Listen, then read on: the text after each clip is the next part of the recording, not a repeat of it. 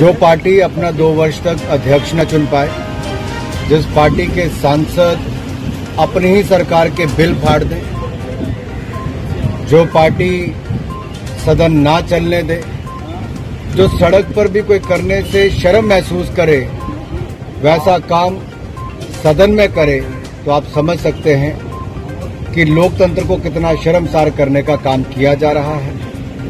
देश की जनता ने जिन्हें सांसद बनाकर भेजा है अपने मुद्दे उठाने के लिए, वो चर्चा में भाग ना लेकर चीर फाड़ करने तक आए हैं, फाइलें फेंकने तक आए हैं।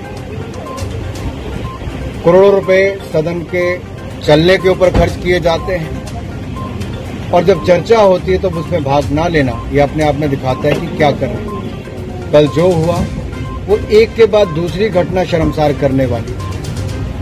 पहले मंत्री जी का बयान फाड़ देना एक दिन, और फिर कल टेबल पर चढ़ के, पीठ के ऊपर, यानी कि राज्यसभा के अध्यक्ष की चेयर के ऊपर वो फ़ाइल फेंक देना, अपने आप में शर्मसार करने वाला है। और कोई इसमें गर्व महसूस करता है तो मुझे कई बार लगता है जैसा 26 जनवरी को हुआ, जहाँ एक और उससे शर्मसार हुए, वहीं पर इस तरह की घटनाओं को बार बार कहीं ना कहीं अंजाम दिया जाता है। हर खबर पर होगी आपकी पकड़। सब्सक्राइब करिए हमारे चैनल विद्रोही आनंद को और बेल आइकॉन दबाना न भूलिए।